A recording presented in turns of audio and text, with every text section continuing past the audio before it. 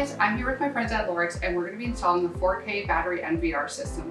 What I love about the system is that the cameras are battery operated so it's super easy to install. It has 4K resolution and is supported by Wi-Fi HaLow for a longer and better connection.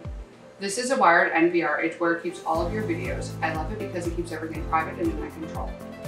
Before we install, we're going to make sure the cameras are fully charged. Charge until the light turns green. Now let's plug in the NVR. Now let's plug in the ethernet cable. Attach the other end to your router.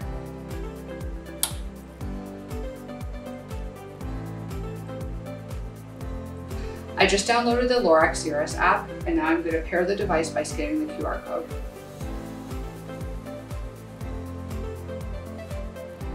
Now we're going to drill some holes to install the mounting bracket.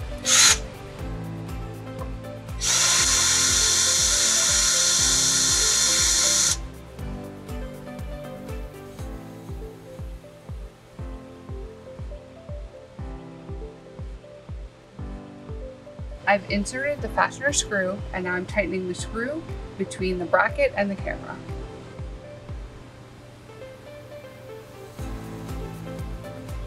I've attached the camera to the mounting bracket and let's see the view.